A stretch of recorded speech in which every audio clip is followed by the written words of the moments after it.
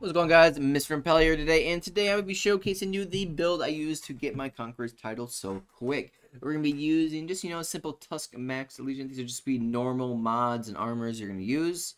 First off, we're using a little extra discipline so we can get that 100 discipline. You might want to use something else depending on what your build's looking like. We're going to be, first off, most importantly, the Kinetic Siphon because we are be using Maleficence. We're going to be using a kinetic weapon, which will then make many orbs of power with this coupling that with the Font of Might because we will be using the Fire and Forget Trace Linear Fusion Rifle because we will always have an Elemental Shard, so that'll be able to proc easily, as well as high energy fire, so we're getting that double damage boost to our Linear Fusion Rifle when we need it.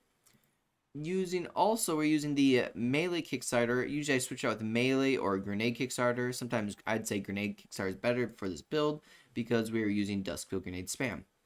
Moving on to the Cinder Pinion Vest. We have the Resilience, because you know I want to be a little bit more extra tanky. Coupling that with the Arc Resistance, so I can get the Powerful Friends, the plus 20 mobility, so I can easily max out the stats there, so I can get my dodge back as soon as possible. Finally, but not last least, the Energy Diffusion Substrate, which gives you a 5% damage resistance to all damages.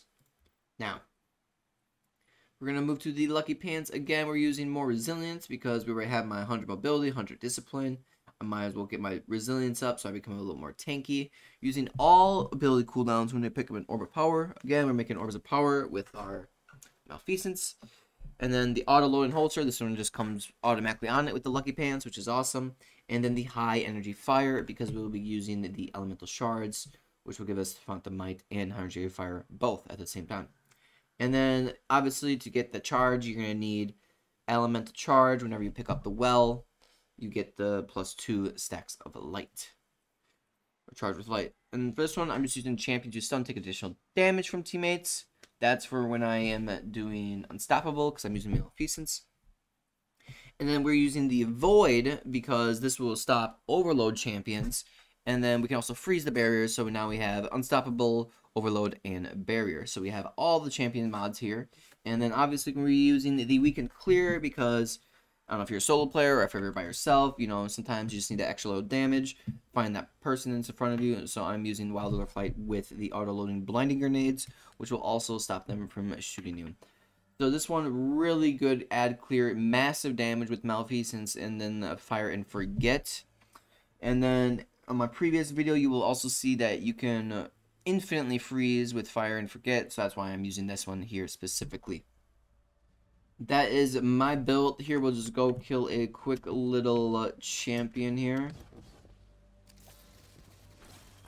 So I can show you some power here. What I'm doing usually. So I'm out of luck. Usually I just do this until he gets...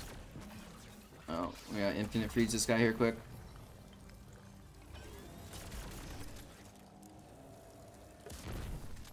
So you can infinite freeze, and then I'll just Maleficence and just max damage to the rest of it. That's about it, guys. Really simple build, really easy to solo. If you want to do solo GMs, this is a viable. And yeah, guys, hope you enjoyed. Drop a like down below for this OP build. And I'll show you some solo gameplay of GMs shortly here. Peace.